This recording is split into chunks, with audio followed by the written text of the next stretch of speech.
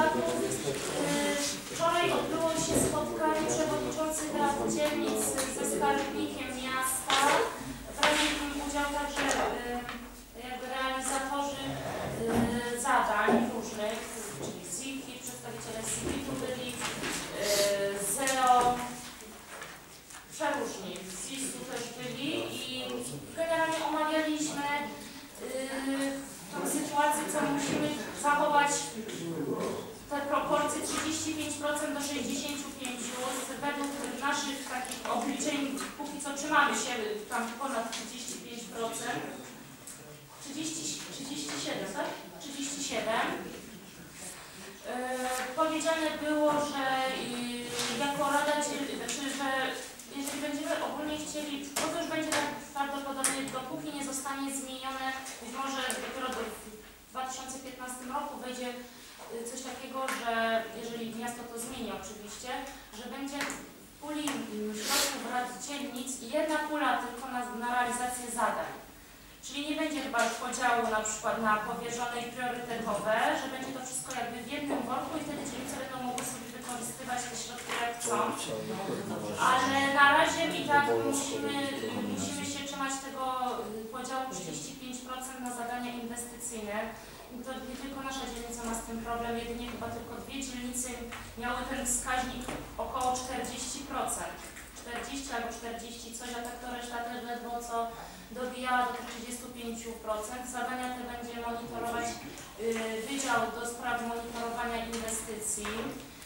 Czyli w momencie, kiedy na przykład zostaną nam pi- pieniądze z przetargów, y, zadań inwestycyjnych, czyli między innymi z Komisji Edukacji, czy zadań też części zadań Komisji tam planowania przestrzennego z przebudowy dróg, to także wypada, żebyśmy te, te grosze nawet przekazywali na zadania inwestycyjne.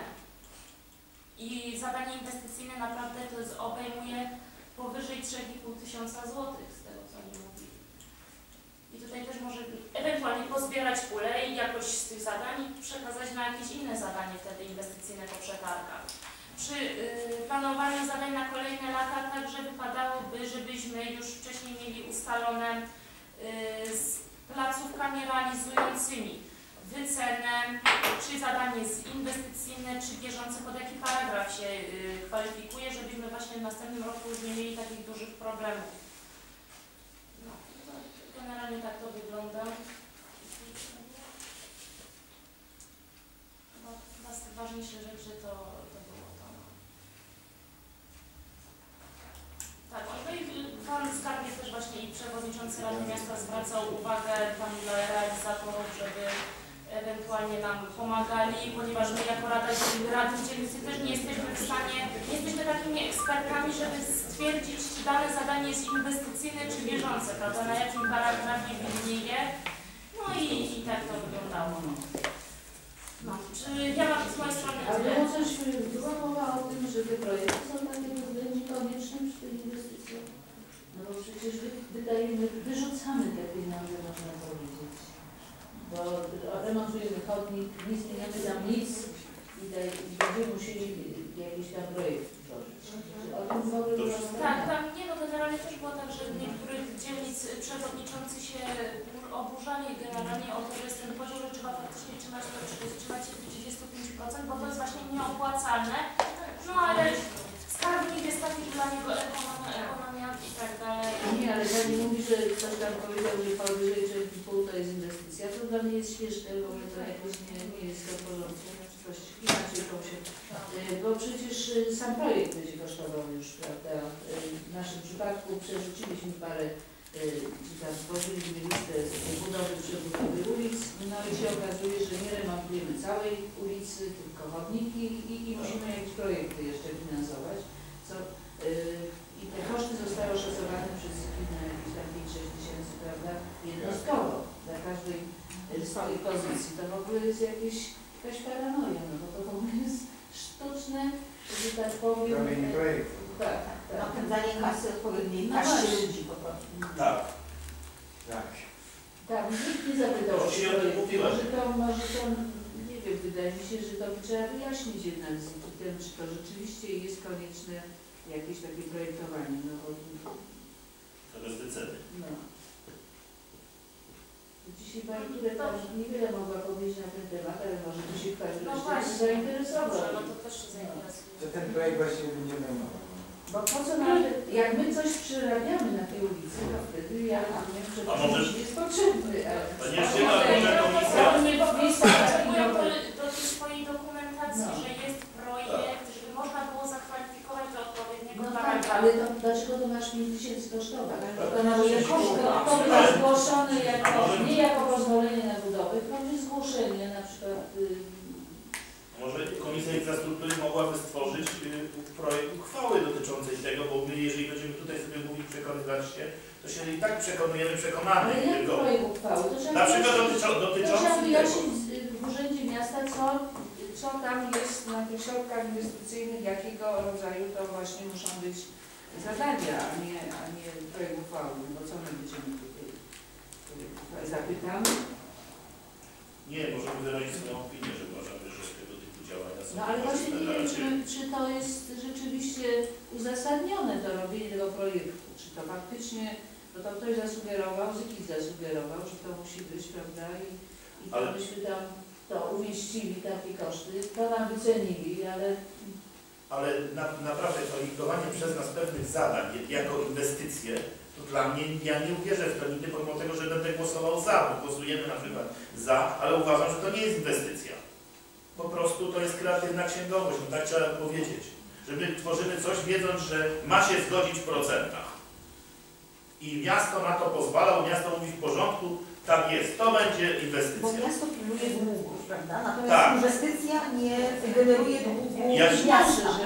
Ja się- Ja się boję jednego, jak na przykład Regionalna Izba Obrachunkowa, kiedy będzie kontrolować, na przykład przyjdzie kontrolować wykonanie budżetu i w pewnym sensie sprawdzi inwestycje Rady Dzielnicy jednej, drugiej, trzeciej i powie, czy na pewno to jest inwestycja, że zostało zakwalifikowane, to tak, to jest inwestycja, ale czy to merytorycznie jest inwestycja?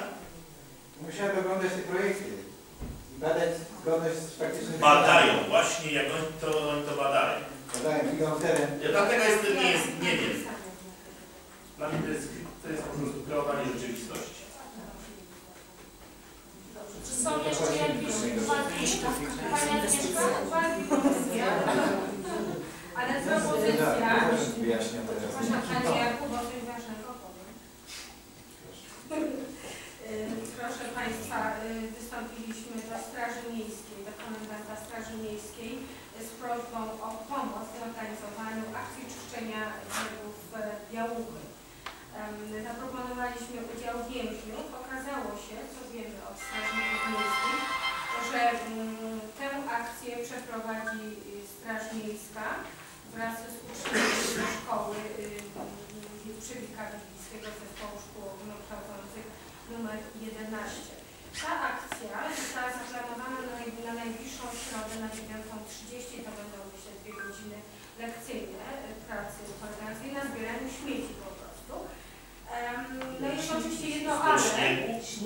No właśnie, proszę mi pozwolić skończyć. Jest jedno ale, co od razu strażnicy planujący tę akcję i, i, i datę jej rozpoczęcia też biorą pod uwagę, że mogą być niesprzyjające warunki pogodowe. No na razie one są niesprzyjające, bo śnieg nie topnieje. Niemniej, jeśli pogoda będzie dobra, co zwłaszcza oczywiście radni z tego okręgu, patrzę tutaj na Panią Alicję, Pan Maciej, no ja również, nie wiem czy Pan Łukasz Berdziński, gdyby zechcieli dołączyć do swojego jako obserwatorzy lub też osoby zbierające te śmieci, to byłoby mm, bardzo y, interesujące. Jeśli pogoda, jeśli, jeśli pogoda y, nie będzie sprzyjająca, termin na się zostanie zmieniony, a ja y, i Pani Basia na pewno będziemy o tym wiedzieć, a za naszym pośrednictwem również Państwo. Także wstępnie proszę się szykować na środę z możliwością przesunięcia tego już pewno wtedy. Do nas Ten od y, od mostu tam w stronę Radomia. Tam jakieś spotkanie? Tam, y, Farma, a od farmaceutów nie. Najpierw zaczniemy tam, bo tam było dużo wniosków. Przy moście się spotkamy. Żywności. A, ale to było sprzątane w czasie tego, tego dnia ziemi też, nie? Nie, nie. No, Na nie wiem Pani Elo, ale ja miałam, ja miałam objazd z Panią Kolektową osobą i to, co zobaczyliśmy, wtedy akurat była, była odwrót i to, co się ukazało na tym to było przerażające. Od Fabrygo. Tamten teren był może kultywowany, ale kultywacja była do tego mostu, między tymi mostami w zeszłym roku. Wycinane zakrzaczenia, wycinane drzewa tam, także to i tak on dobrze wygląda w porównaniu do na nocy. Jakieś uwagi, propozycje, oświadczenia? Nie widzę w takim razie w imieniu całego zarządu życzę Państwu zdrowych, spokojnych świąt, yy, w gronie rodzinnym, dużo odpoczynku i życzę nam dobrej, już w końcu ładnej pogody, bo wiosna już wczoraj zaczęła, ale jakoś jej nie widać. Yy, No i to wiosna. Tak.